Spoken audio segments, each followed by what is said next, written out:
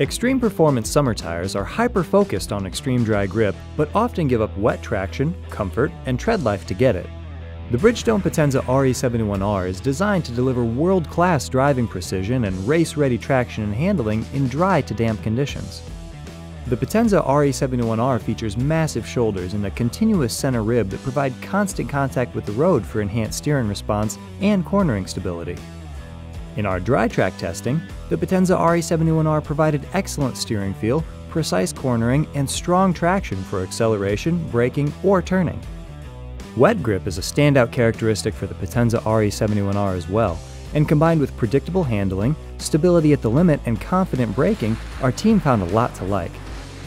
With results near the top of the test, the tire is sure to satisfy drivers on the road or the track. Ride and noise comfort are relatively low on the priority list for extreme performance summer tires, and the Potenza RE71R is no exception. The ride is very stiff, and while it does a nice job turning impacts into a single event, it communicates every imperfection in the road. Additionally, the performance-focused tread pattern creates a wide variety of airborne noise at a rather high volume.